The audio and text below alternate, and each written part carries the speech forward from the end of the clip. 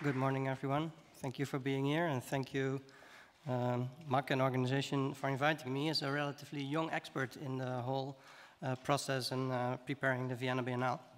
Um, together with three other uh, people, I, uh, four years ago, I founded the Office Civic Architects in Amsterdam. We work with 10 people now, and I'm delighted to like share some of our uh, themes and, and, works with you uh, in the hope to contribute to today's topics.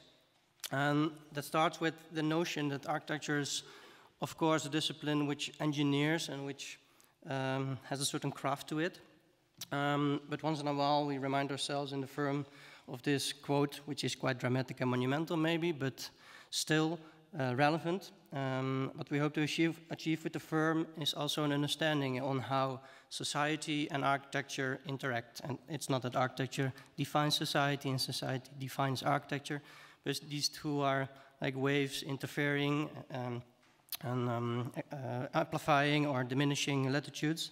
Um, and that's something that from the beginning of our firm we, we, we took very seriously and we always try to like investigate and have a bit of a sense on what's happening or what might be happening, just to like feel connected with themes that are relevant um, politically, uh, but also environmentally, uh, socially, um, from themes like overpopulation to like the development of uh, cities in, in, developing more sovereign uh, and autonomous entities, just to find like ways to translate that to our architecture.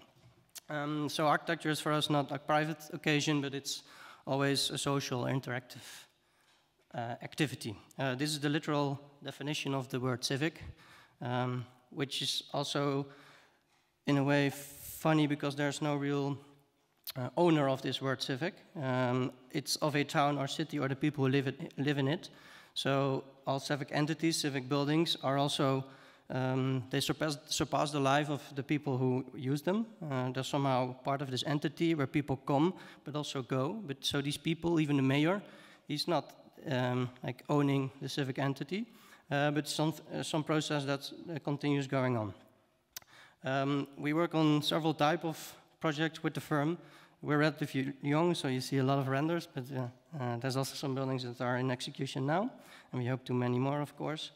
that that varies from cultural spaces, uh, libraries or museums or art, little art pavilions, towards the more public infrastructural spaces, um, addressing mobility or energy production, um, the more sensitive uh, architectural interventions in the landscape and how to deal with, uh, with nature and architecture. The development, but also the exchange of new knowledge in universities and research institutes and also schools, educational facilities, um, to uh, habitats that are like well-balanced environments for people to uh, coexist, but maybe also to coexist with the planet itself. Um, of course, uh, we have been, as architects, we have been involved in um, working with uh, our environmental and societal changes uh, for a couple of decades already. Uh, urbanization is a th theme, uh, urbanization and mobility are themes, um, sustainability are themes that we are already working on, like we're tinkering uh, on the world with our architects, engineers, policymakers. Um, so actually we're doing quite a good job, and I think that's also something we need to continue doing, but today I want to address like the other part of this, which is less the engineering and the more, less technical part, but actually the more cultural part. Um, um, I think on the technical part, uh, Brian Cody, who will also speak today, uh, will explain you exactly what he knows about how energy works, how the world works. I want to focus a bit more today on um, like human interaction, cultural issues, um, and how, how do culture and how do, the human, how do human beings relate to everything that's happening. So I want to share with you three themes that we are working on, we believe might be relevant, and I show them by uh, showing a project for each theme. First one is the notion of the familiar. Uh, since technology is like more and more present in our everyday life, uh, part of our uh, daily systems, um, and we get used to systems that are technological, but they are also global movements.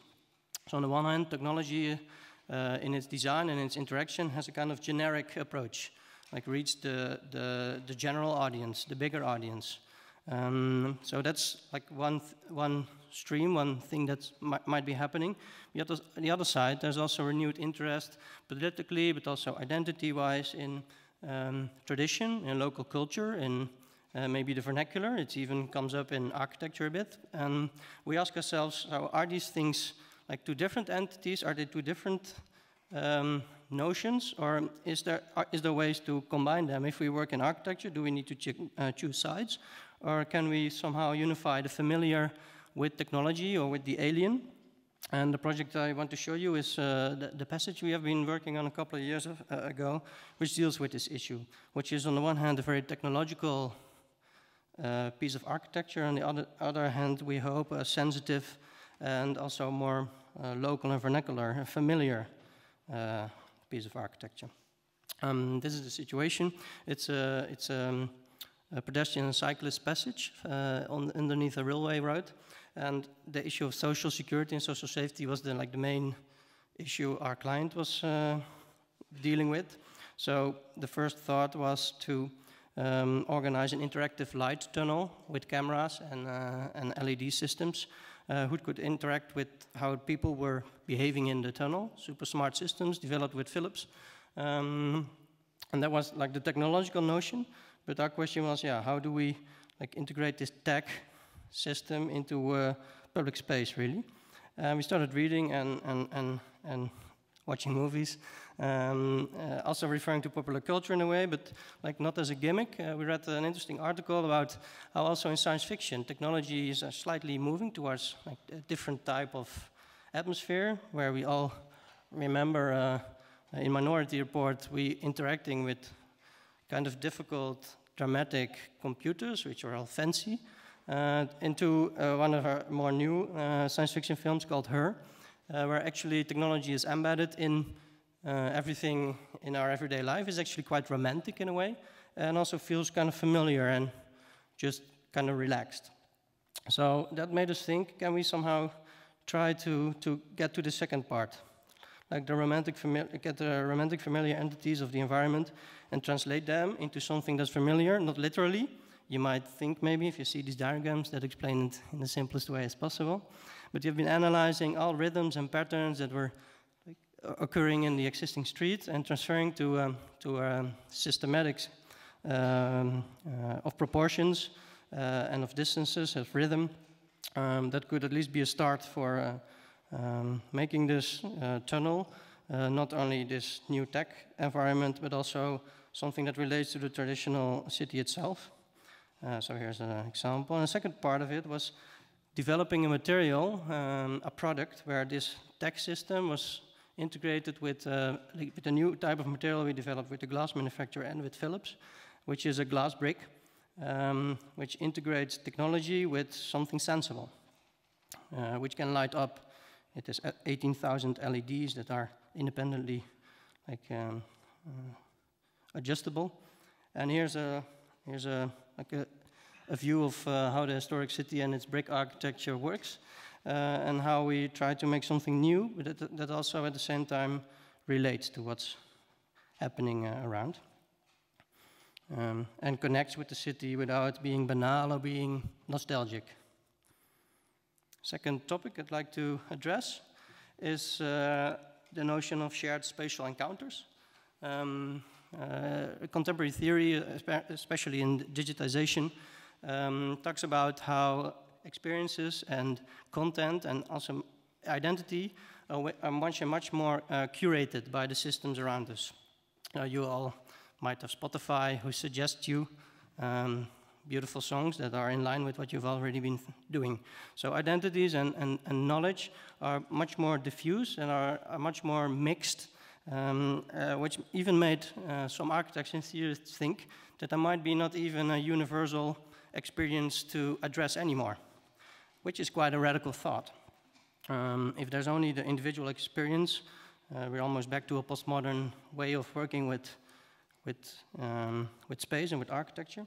But we also see, on the other hand, that uh, there's, there is space for um, universal or collective events, especially in events uh, uh, scene. There's the exhibition by Eliasson in the, in the Tate as a like, very dramatic example, and we th we're thinking, is this way of being in, having a collective experience something we can also still offer in architecture? Like in the first, uh, third example, um, how public interiors used to work in the past. There's a painting of a church um, that used to, back in the days before the re religious entities were more autonomous, were just a place where people hang, would hang out and be in this uh, collective interior, and everything would uh, could, was a, could happen there. And that's something we somehow try to find in uh, designing the new public library of Tilburg. You see this uh, first image of this notion of the public interior, where, uh, which is so strong that um, the, the spatial experience of it also binds people together in a way. And just a bit of uh, background. Uh, it's an old locomotive, locomotive shed in an old uh, railway factory in the city of Tilburg, where two big, large maintenance sheds were converted to host a public library. It's an industrial mon monument, I think 60 by 100 meters and 20 meters high, which are actually just roofs where cranes transported um, uh, locomotives and train carriages. So the main ambition for the whole project was actually to um, find this monumental character of the existing halls and take that as the main architectural feature of the building. Uh, people entering this space surrounded by the industrial uh, tech that used to be there um, and not dividing everything up, but using these, this monumental experience as something real for the city, for all these different activities to happen within, which is working, which is reading, which is hosting events, uh, which is just hanging around, uh, drinking a coffee, meeting, meeting people, and uh, developing knowledge.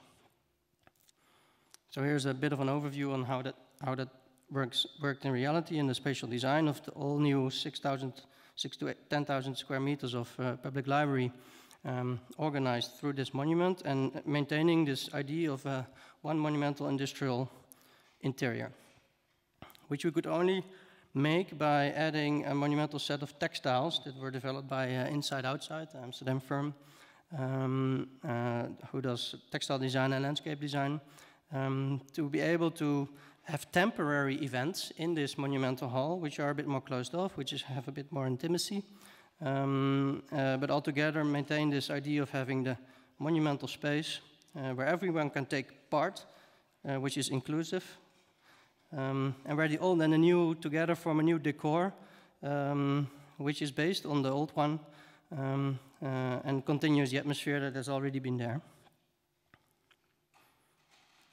So third theme I'd like to address um, is an experiment we did or a project where we tried to research how not only the visual aspects of the sensory uh, system can be addressed, but uh, also the other ones to a certain extent. Because also, I think, due to digitization, uh, like we're training our visual uh, system and our visual interactive system so good, and we first develop VR, and then we develop all the other sensoric uh, reality systems in digital world, that we think architecture still has something to offer there, and we should explore it a bit more. Um, and there's the full, the full sensory system with all the senses, um, and architecture is in the end still a bodily experience. So this is a pavilion we built where we try to like deal with some of the issues. It's a literature pavilion on the uh, Buchmesse Frankfurt, um, where the Dutch and the Flemish literature funds had their main uh, pavilion, uh, where the walls, the floor, and uh, the whole panoramic scenery all together form one um, uh, ambience, which so somehow tricks, but also um, applies to, to all the senses where, where, it starts with the floor, which is built out of brick, which is loosely uh, placed on the ground. So if you walk, you experience the soft clicking of the stone, and you wander around the space in a quite relaxed way and find your place. Uh, in some of the chairs, which are like quite relaxedly positioned, or people wander around through parts of the exhibitions which are integrated. Second part of this whole atmospheric experience um, is uh, the notion of time. Uh, a very big panoramic uh, animation of the North Sea co coast, which slowly adapts through the day and in a couple of hours uh, changes color. Um, gives, offers the, the viewer also a perspective, so a different way of focusing the visuals, uh, the eye and the visual senses. So there's depth, but it's also flatness, and um, it, during the day it slowly changes color, changes shape. Third one is actually the exhibition walls themselves, which were built of stacked polycarbonate uh, walls. And if you move around them, they either open up and give this kind of translucent atmosphere, but at the same time, if you walk around from the corner, it gives this sense of intimacy, uh, cloudy intimacy, um, uh, which altogether um, uh, offered us, uh, enabled us to make an exhibition space which is closed off at the one side, but also uh, offering relations on the other side, which resulted in, in one spatial experience which was quite a relaxing uh, place to hang out after you have been visiting the whole book fair, which is full of visual stimuli. Thank you for your attention. Uh, I hope I, I, I, added some themes, uh, contributed to uh, what we're talking about today, and uh, I hope we'll be talking also next from the Q&A sessions. We can interact the rest of the day, so I hope to learn from you too as well. Thank you.